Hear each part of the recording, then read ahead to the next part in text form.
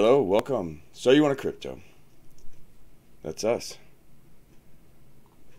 All right, today, real quick, short video. XNS. Thought we lost it there for a minute. I come looking at my KuCoin this morning, and my app didn't work. I couldn't get my KuCoin desktop app to work. I, I thought I was in trouble. But I think they did some updates. I'm looking on the app, mobile app, and there's a bunch of new stuff. The desktop updated. I see the XNS USD pair is back. So happy. I'm happy with the price too, up to, you know, touching on nine tenths of a cent, knocking on a penny's door again. Looks like we got lower lows. I want to touch on Soveren.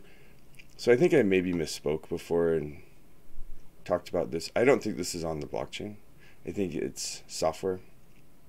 And it's something that maybe will be an application. But the the point I want to make to this is right here. I think that maybe Soveren will be one of these outlying things. And what I'm hoping is that Soveren with Visa brings Visa money in through one of these networks or somewhere through the software application onto a cloud, onto Insolar's platform itself, right? When we look here, we say provide de developers with an easy to use tool to embed digital trust in transactions. I've covered all this before. Again, this is really short. All these will be in the bottom. And this is more of a, a quick update more on price. And also, Twitter is alive with somebody from Insolar today. So we went from December 22nd all the way to four hours ago. But this BiKi, hopefully I said that right. XNS will no longer be on BiKi Exchange. And I think that maybe is because there's no liquidity on there. And honestly, I think all the liquidity would be on KuCoin anyway. So they are live. Price is going up. If you watch out if you're on BiKi. I have no idea what's the next coin to get delisted or the next exchange to get delisted for XNS if there is another delisting on another exchange if they're going to bring back staking on a different exchange I don't know. I think that was up to Bitmax. I think Bitmax is the one that dealt with the staking. I don't think that had anything to do with Insolar itself. Hopefully KuCoin will stick with it. Usually though I think KuCoin gives you a, in the past where I've dealt with stuff that was going to be delisted they give you a warning I, I don't know if they would if they were going to do it again, but in the past, I've been warned that your coin's going to be delisted on KuCoin. Not that that's future prediction or anything. And I really, do, I hopefully XNS doesn't get delisted. I'd like to see this thing start gaining some traction. There's a lot of ang- angry, angry money coming to the cryptocurrency world too. People lost faith in the stock market yesterday, today. Uh, so don't be surprised for crazy. Look at Dogecoin.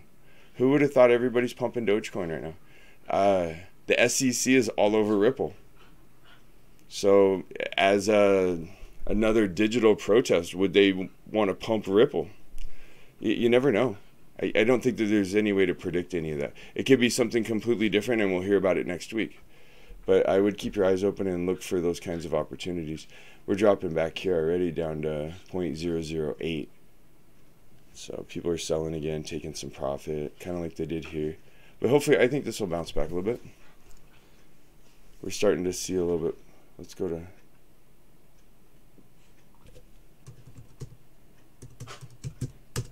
real fast.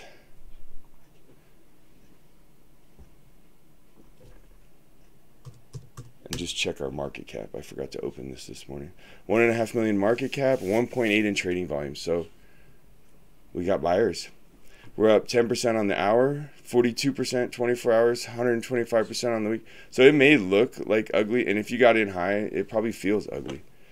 But time is your friend. And so far, over time, XNS has done well if you've got in at the right time. Remember cost average buying don't buy in all at here. Maybe if you bought in a little here, or bought in a little here, and then maybe you did buy in a little here, and you know, you're not getting wrecked all right here. You made some profit off of this, you lost a little on this, and it starts to average out, and hopefully your average is above what you paid. All right, thanks for joining. I'll probably make another video later today, definitely tomorrow. I'm gonna try and do at least one a day. I got a lot on my plate, but I'm setting up a schedule so we can maybe get these on a regular instead of sometimes in the morning, sometimes in the evening. All right, go XNS.